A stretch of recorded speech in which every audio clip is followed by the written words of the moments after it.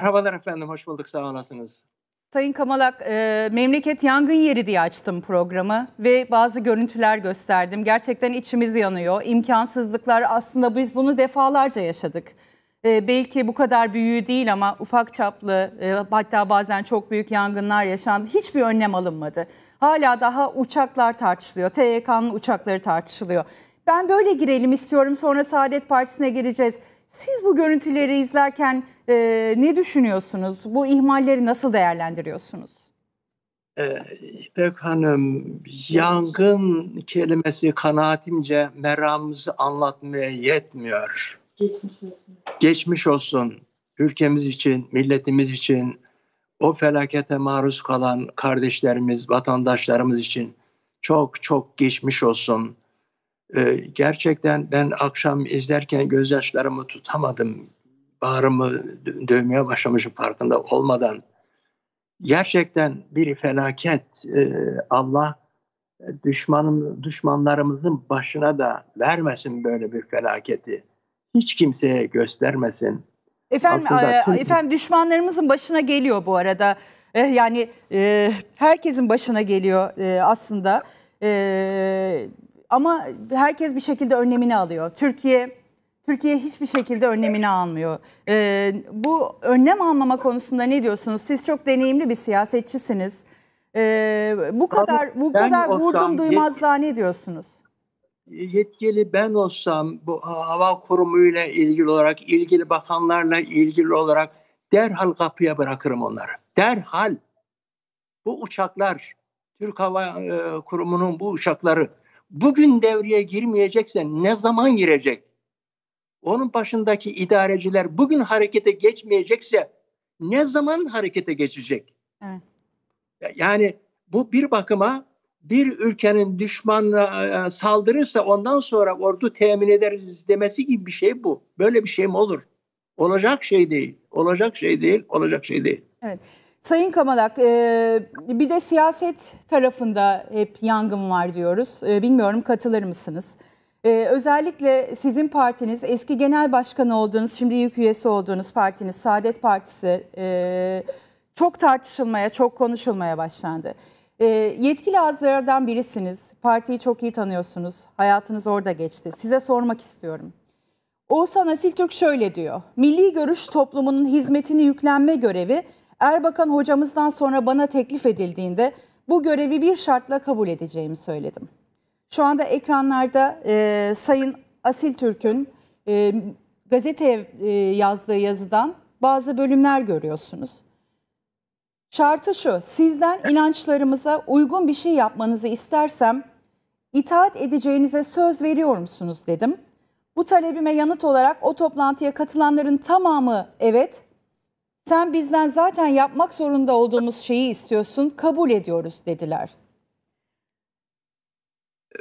Böyle yazıda, bir toplantı... Yazıda, çok özür dilerim. Yazıda başka tamam. bölümler de var dikkatinize sunmak istediğim, altını çizdiğim. Fakat buradan başlamak istiyorum. Sizin böyle bir konuşmadan haberiniz var mıydı Sayın Kamalak? Yani e, itaat sözü verildi mi Sayın Asil Türkiye? Hayır, hayır.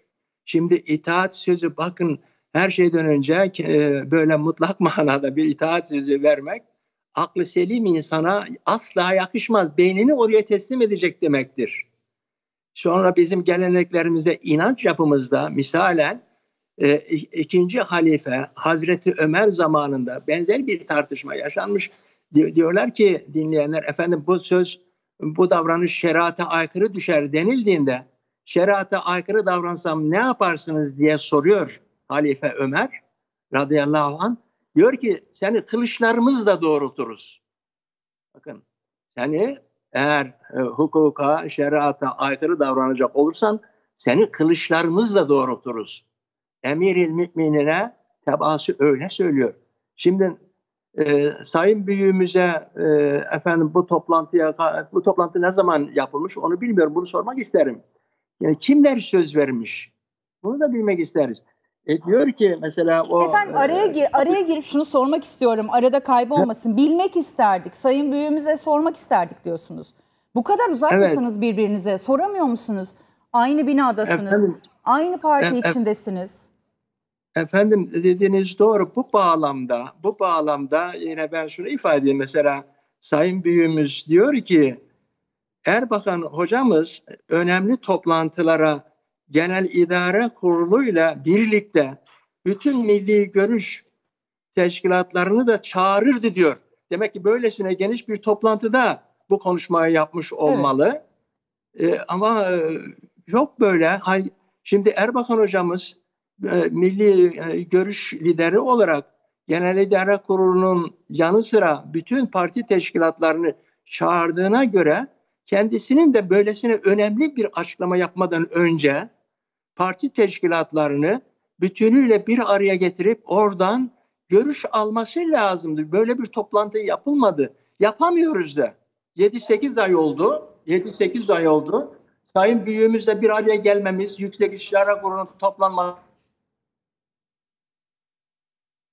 ben oradaki bir araya geldiğimiz zamanki konuşmalarımda çatal kazık yere geçmez. İki başlılık partimize zarar veriyor.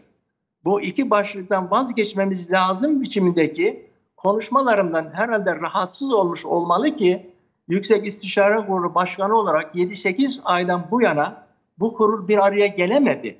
Yani bu sadece sadece büyüğümüz... sadece sizin konuşmalarınızdan rahatsız olduğu için mi yoksa hani aklıma şey geliyor pandemiden dolayı mı toplanamadınız ama bu süre içerisinde Sayın Asil Türk birkaç kez Sayın Cumhurbaşkanı ile bir araya da geldi değil mi? Bu da olamaz yani. E, doğru, doğru. Efendim e, pandemide pandemi döneminde de e, efendim e, yani 3-5 kişi bir araya geliyor. Toplantı yasak diye bir şey yok. Biz zaten 5 e, kişi kalmıştık Yüksek İstişare Kurulu olarak. Yani o dönemlerde de yani 7-8 ay öncesi bir araya geldiklerimiz oluyordu. Ama neticede işte bu konuyu ben dile getirdim. Çatal kazık yere geçmez. Geçmemesi lazım. Ben sizin vasıtanızla da tüm teşkilat mensuplarımıza şu mesajı vermek isterim. Ee, Saadet Partisi'nin hiç şüphesiz ki en büyük rakibi, en güçlü rakibi AK Parti'dir. AK Parti genel başkanının elini güçlendirmek için, daha da güçlendirebilmek için Türkiye Cumhuriyeti Devleti'nin Cumhurbaşkanını AK Parti'nin emrine verdi. Örtülü ödeneğiyle, kurumlarıyla Türkiye Cumhuriyeti Devleti'nin Cumhurbaşkanı şu an AK Parti Genel Başkanı'nın emrinde. Şimdi en güçlü rakip kendisini devlet gücüyle takviye ederken ben buradan gönüldaşlarımıza, milli görüş erlerine, Saadet Partisi mensuplarına sesleniyorum. Diyorum ki rakibimiz böylesine elini güçlendirirken bizim Saadet Partisi olarak genel başkanın yetkilerini yetkilerini alıp sorumluluğu olmayan birisine devretmemiz akılla, mantıkla, kanunla, siyasetle bağdaşabilir mi? Hayır diyorum ben. Yapılması gereken şey ha iki kurul varsa bu iki kurulun başkanlığının tıpkı merhum Erbakan hocamızın zamanında olduğu gibi genel başkanda birleşmesi lazım. Biliyorsunuz merhum hocamız Milli Görüş Lideri Erbakan Hoca vefat ederken hem Saadet Partisi'nin genel başkanı idi hem de hem de Yüksek İstişare Kurulu Başkanı idi. Aynı şekilde aynı şekilde bu iki başkanlığın genel başkanda birleşmesi lazım. Ha, sayın büyüğümüz bu ben olacağım dediği takdirde elbette bu partinin yetkili organları var, kurulları var. Ee, biz bunu deklare ederiz. Ee, teşkilatımıza duyururuz. Toplarız onları sayın büyüğümüzün dediği gibi. Bu önemli karar için toplarız. Deriz ki bu iki e, başkanlık genel başkanın uhdesinde, üzerinde birleşecektir. Bunun için adaylarımız bir, Sayın Asil Türk, iki, e, Temel Karamollaoğlu Bey, üç, Ahmet, dört, Mehmet, beş falan. Hangisini genel başkan olarak ve aynı zamanda Yüksek İstişare Kurulu Başkanı olarak görmek istiyorsanız onu işaretleyiniz deriz. tıpkı Sayın Büyüğümüzün ifade ettiği gibi böylesine önemli bir karar için partimizin tüm teşkilat birimlerini toplar, onların görüşüne müracaat ederiz. Çünkü bizim teşkilatımız İpek Hanım gerçekten el değil aynı zamanda ayağa öpülecek bir teşkilattır. Ne Yine kolay. 20 yıldır, bakın 20 yıldır hazineden bir tek kuruş almadan partiyi omuzlayıp götürüyor. Bu, bununla da kalmadı. Bununla da kalmadı. Genel e, merkezi elinden alındı. Haksız biçimde elinden alındı. Ama bu teşkilat, bu teşkilat şu an 40 milyonluk bir genel merkez e, e, sağladı partiye. Bunu teşkilat sağladı. Efendim Ankara'da genel merkezi e, mensupları vasıtasıyla temin edilen tek parti Saadet Partisi'dir. Tek parti. AK Parti'nin de genel merkez binası var. Ama hazineden, devletten aldığı e, hazine yardımıyla yaptırdı onu. E, efendim e, öbür taraf Cumhuriyet Halk Partimiz yine aynı şekilde hazineden aldığı e, yardımla MHP aynı şekilde e, e, efendim Demokratik Sol Parti aynı şekilde hazineden yardım almayıp da genel merkez binası bulunan tek parti Türkiye'de evet. Saadet Partisi. Sayın Kamalak anladığım kadarıyla anladığım sayın. kadarıyla şunu söylüyorsunuz. Diyorsunuz ki bu itaat tartışması e, benim duyduğum bir tartışma değil. Ben böyle bir şeyi duymadım. E, zannediyorum e, herhalde tabandan da üyelerinizle de konuşmalar yapmışsınızdır diye düşünüyorum. E, bu bu e, konuşma herhangi bir yerde olmadı kanaatindesiniz aynı zamanda değil mi? Hayır böyle bir soruya ben efendim sizden şunu istersem bunu yapacaksınız. Aynı şekilde ben de bu şartlar altında bu başkanlığı kabul ediyorum falan biçiminde katiyen böyle bir konuşma geçmedi. geçmedi. Hatırlamıyorum benim, benim olmadığım bir toplantıda yapılmış ise onu bilmiyorum. Ama, ama, ama bahsedilen çapta bir toplantıda zaten sizin olmamanız mümkün değil. Bunu da mı söylemeye çalışıyorsunuz? E doğru. Doğru. Tabii bunu söylüyorum. Ben yani benim bulunduğum bir toplantıda böyle bir konuşma, böyle bir yetki verilmedi. Anladım. E, zaten diyorsunuz ki Saadet Partisi içinde itaat sistemi yok. Efendim itaat sistemi hakka, hukuka uygun, bakın hakka, hukuka uygun olduğu takdirde saygı ilkesi var. Buna bağlı oluruz. Öbür taraftan belki belki bizim teşkilatımız e, şöyle düşünmüş olabilir. Ya Yüksek İstişare Kurulu Başkanı olağanüstü kritik bir dönemde böyle bir açıklama yapmış olabilir şeklinde düşünebilir. Hayır. Böyle bir şey olamaz. Yüksek İstişare Kurulu Başkanı da olsa hani Türkiye öyle kritik bir dönemde aniden e, tedbir alınması gereken bir aşamadan geçmedi e, partimiz açısından. Öbür taraftan Yüksek İstişare Kurulu e, Başkanı olarak partimiz adına böyle bir açıklama yetkisi yok. Çünkü Türkiye'de siyasi partiler sistemi geçerlidir. Siyasi partiler kanuna göre de her bir siyasi partinin ancak ve ancak bir tek genel başkanı olur. Partinin genel başkanı da belli temel verir. Yani parti adına ancak tek başına o açıklama yapabilir. Peki Şimdi, Sayın Kamalak, Sayın Kamalak, e, Sayın Oğuzhan Asiltürk ne yapmaya çalışıyor o zaman? Bunu kendisine sormak lazım ama dışarıdan görüldüğü kadarıyla kendisine bu soruyu sor, sorma imkanım olmadı. Hı hı. Ama e, dışarıdan görüldüğü kadarıyla e, Saadet Partisi'nin Cumhur İttifakı'nın yanında yer almasını istiyor gibi bir görüntü var. Ama böylesine e, bir kararı tek başına e, Sayın Büyüğümüzün vermemesi lazım. Çünkü çünkü bakın İslam tarihine baktığımızda e, Peygamber sallallahu aleyhi ve sellem Efendimiz döneminde Uhud Harbi için ümmet toplanmıştı. Ashab-ı kiram toplanmıştı. Cephe savaşı mı yapalım yoksa savunma harbi mi yapalım diye. Peygamberimiz e, savunma harbinden yana idi. Ama Bedir Harbi'ne katılmamış olan e, özellikle gençler efendim cephe savaşı yapalım dediler. Peygamberimiz cephe savaşına karşı idi ama çoğunluk o yönde görüş beyan ettiği için Peygamberimiz kendi düşüncesine uymadığı halde çoğunluğun, çoğunluğun görüşüne uymuş. Peki demiş cephe savaşı yapalım o halde diye. Sonradan o toplantıya katılanların birçoğu görüş değiştirmiş. E, cephe savaşından vazgeçelim diye. Peygamberimiz diyor ki bir peygamber zırhını giydikten sonra savaşmadan o zırhı çıkaramaz diyor. Yani peygamberimiz bile tek başına açıklama yapmıyor. Evet Sayın Kamalak siz bunları anlattınız ya aslında benim e, başta söylediğim e, Sayın Asil Türk'ün e, konuşmasında altını çizdiğim ve size sormak istediğim bir şey var demiştim ya. Tam da bu konuyla örtüşüyor aslında. Bakın ne diyor?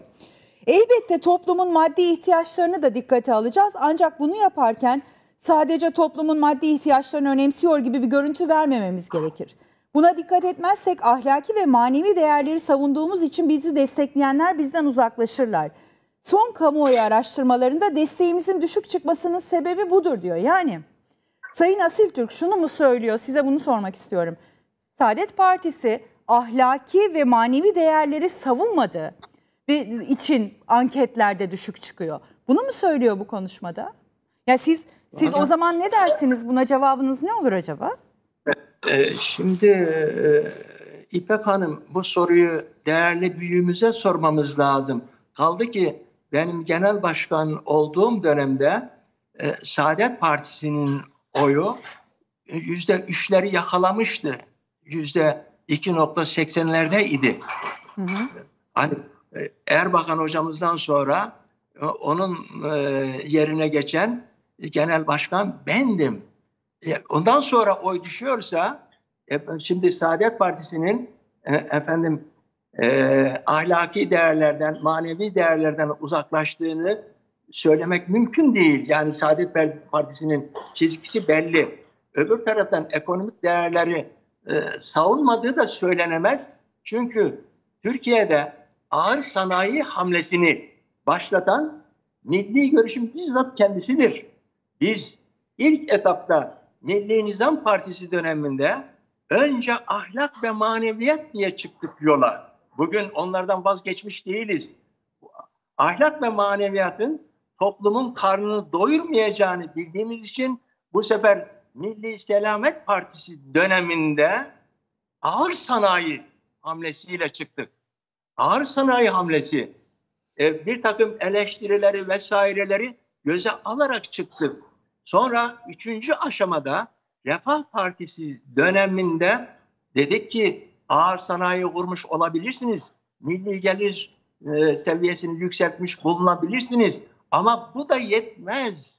Adil olmanız lazım. Ve Refah Partisi döneminde adil düzen demişiz. Adil düzen. E bunun için de havuz sistemini kurduk. İşçiye, memura, emekliye yüzde elli zam dedik ilk etapta. Hatırlayacaksınız. Allah rahmet eylesin. E, dönemin eski başbakanı Mesut Yılmaz Bey bu parayı nereden bulacaksınız dediğinde biz kapitalistlere, para babalarına e, başvurmadan, IMF'ye gitmeden kendi kaynaklarımızla e, efendim ikinci aşamada yüzde yirmi, yüzde otuz, üçüncü aşamada yüzde yirmi zam yaptık. 11 aylık döneminde işçiye, memura sağlamış olduğumuz ücret artışı yüzde yüz idi. Bağ kurululara yüzde bindi. Peki peki Sayın Biz, Kamalak, Sayın Kamalak şunu sormak istiyorum. Oğuzhan Asil Türk Sayın Cumhurbaşkanı ile birlikte Kıbrıs'a da gitti. Birlikte birkaç kez görüştüler. Cumhur İttifakı'nın yanında yer almak istediğini düşünüyoruz.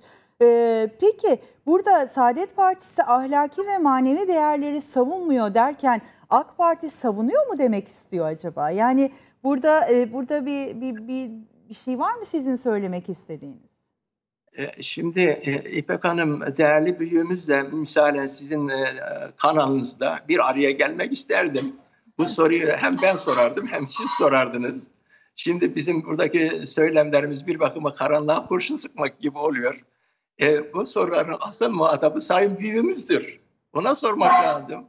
Ben Ama sizce soruları... yani siz sonuçta Saadet Partisi'nin içinde e, genel başkanlık yapmış çok uzun yıllardır siyaset yapan birisiniz. Sizin okumalarınız da bizim için önemli. O yüzden bu okumayı nasıl yapıyorsunuz onu merak ettiğim için size ben, soruyorum. E, ben e, efendim e, şu aşamada şu aşamada e, AK Parti'nin gerek iç siyasetinin gerek adalet anlayışının gerek ekonomi yönetiminin ve bilhassa da dış politikasının asla ve asla doğru olmadığını düşünüyorum.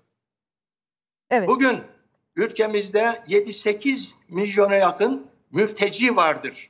Bunun 4-5 milyonu Suriyeli.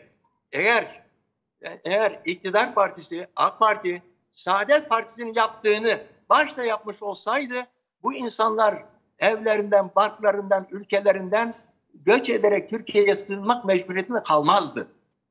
Ee, öbür taraftan e, efendim Libya'dan, Irak'tan e, ülkemize doğru akın, mülteci akını başlamazdı. Orada sus, durdurabilirdik bunları. Şimdi e, Sayın Cumhurbaşkanımız, AK Parti Genel Başkanı e, Amerika'ya zaman zaman diyor ki sen diyor 10 bin kilometre mesafeden buraya müdahale ediyorsun diyor. Halbuki diyor benim Suriye ile 900 e, kilometrelik sınırım var diyor. Bunu 10 yıl önce söylemiş olsaydı, 10 yıl önce söylemiş olsaydı misalen Erbakan hocamızın mecliste hitaben e, canlı yayında seslendik. Ey milletvekilleri 1 Mart tezkiresi için hatırlatmak isterim.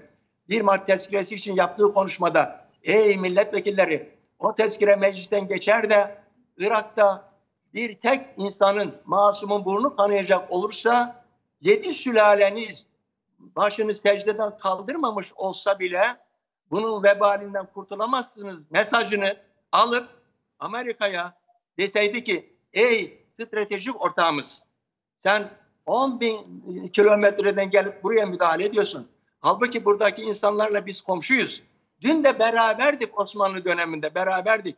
Eğer Suriye'de masum bir insanın burnu kanayacak olursa biz iktidar partisi olarak, kardeşler topluluğu olarak, AK Parti olarak bunun vebalinden kurtulamayız demiş olsaydı kanaatimce Suriye bu duruma düşmezdi. Türkiye bir mülteciler yurdu haline gelmezdi. On binlerce Suriyeli, Iraklı, Libyalı Akdeniz'de, Ege'de boğularak can vermezdi. Köpek balıklarını yem olmazdı.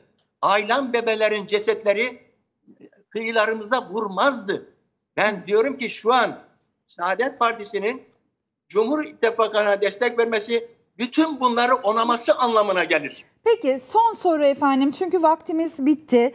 Ee, Saadet Partisi'nin e, Millet İttifakı'ndan ayrılmasına yol açacak kadar e, büyük bir ısrar var mı Saadet Partisi'nde? Sayın Karamollaoğlu'nu yıldırmaları mümkün mü?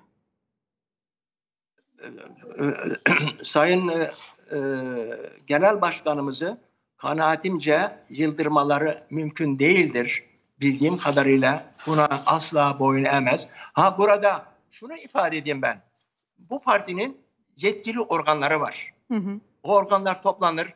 Ülkenin menfaati için nerede yer alması gerektiğini, nasıl davranması icap ettiğini belirler. Bir ortak görüş e, alanı oluşturulur.